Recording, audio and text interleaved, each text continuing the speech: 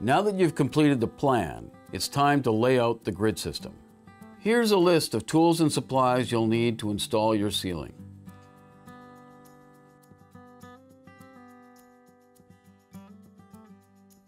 Step 1. Installation of the wall angle. The first step is to establish the height of your ceiling. Identify the lowest air duct, pipe, or beam. You will need to leave at least 3 inches of clearance from the lowest obstruction. Next, make a mark 1 inch higher than your desired ceiling height at each room corner.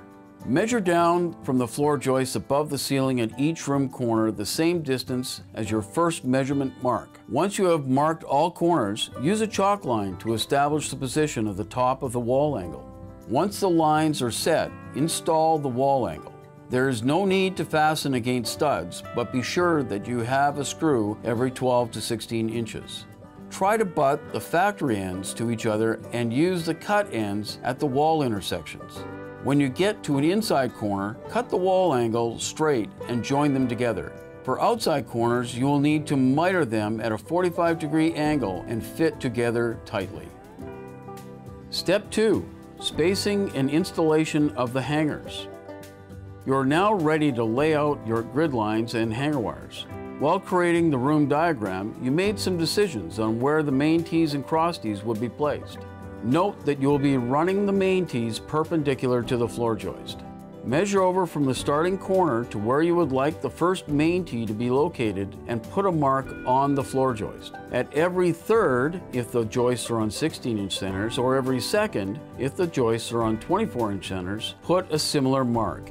These marks will show where the hanger wire needs to be placed, one wire for every four feet. Screw an eye hook at each location that you've marked.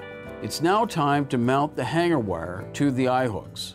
Cut pieces of wire so that they will hang 6 inches below the wall angle and wrap one end of the wire through the eye hook and tightly around itself three times. Repeat this process for the rest of the hanger wire locations. Step 3 laying out your grid with string. This process will make the installation and placement of the grid much easier.